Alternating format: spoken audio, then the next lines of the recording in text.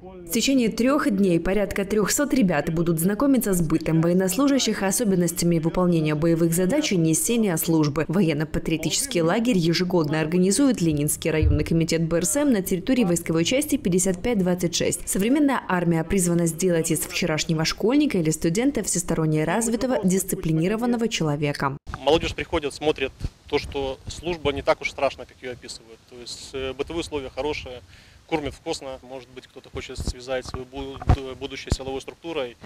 И, наверное, вот э, это военно-патриотические лагеря, это будет толчок принятию правильного решения.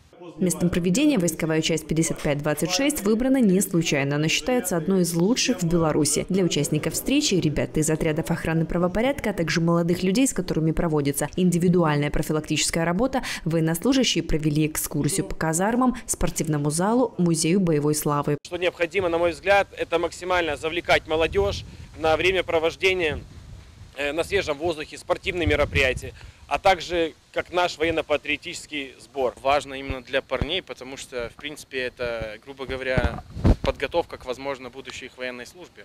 Потому что часто бывает такое, что вот ребенок придет, скажет, блин, а мне здесь понравилось, знаете, вот буду все служить здесь и будет стараться здесь служить. Впереди участников сборов ожидает еще масса интересного. Показательное выступление кинологов, демонстрация техники, проведение тренингов, просмотр фильмов. Кстати, организаторы лагеря отмечают, такая модель профилактических занятий оставляет свой след. Ребята, с которыми проводится индивидуальная работа, но принимающие участие в подобных мероприятиях, становятся на путь исправления.